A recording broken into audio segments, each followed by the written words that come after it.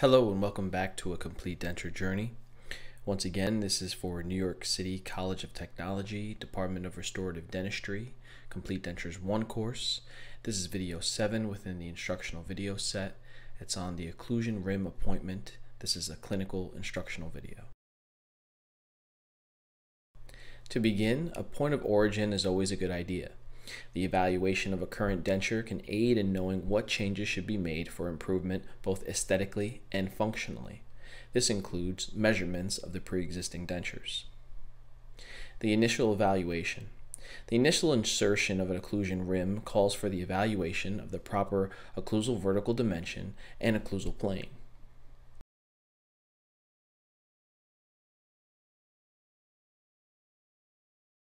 In this case, the initial evaluation results in the patient being over-opened due to a premature contact in the posterior, along with excessive height on the mandible.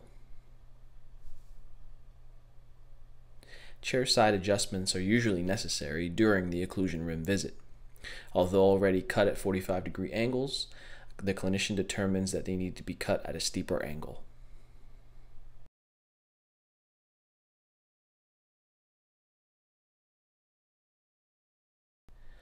The comparison.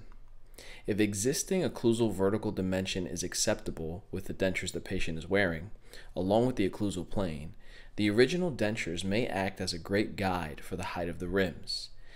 At minimum, it serves as a great point of origin. During the comparison, the drastic height difference from the original lower denture to the occlusion rim results in a height adjustment of the lower mandibular occlusion rim. Once the clinician has made the desired changes, further evaluation is done to ensure proper fit, form, and function. As you can see, the patient is closing into his proper relationship and the occlusion rims are now meeting in a more accurate relationship.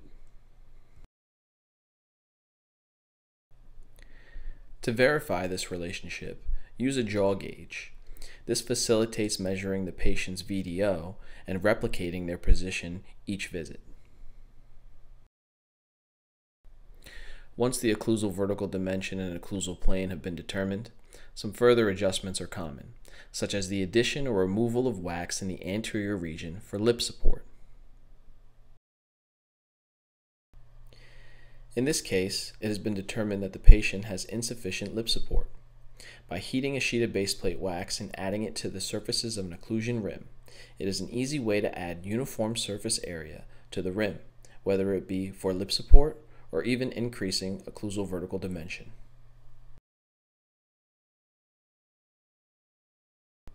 It should be noted that consistent evaluation is key. The evaluation should be performed in steps. Seeing the complete picture can be difficult in a single glance.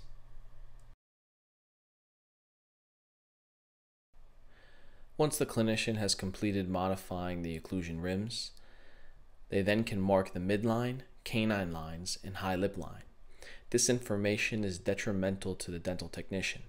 Not only does it aid in proper positioning of teeth, but also the selection of proper size of teeth. The final step of this appointment is achieving a bite registration. If a clinician plans on using a bite registration material, it is good practice to create notches on the occlusal surfaces of the rim. This acts as a matrix for the bite registration material.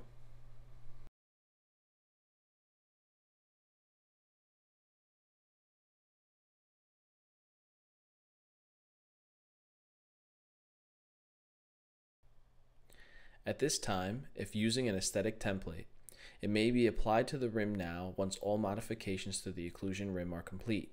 This will further aid in the evaluation process, as seen in the video. The final evaluation. Some main characteristics to evaluate are the occlusal vertical dimension, occlusal plane, lip support, midline, canine lines, and high lip line. Achieving the bite registration, a patient is placed into centric relation which is a repeatable condylar position. And bite registration material is flown in between the notches.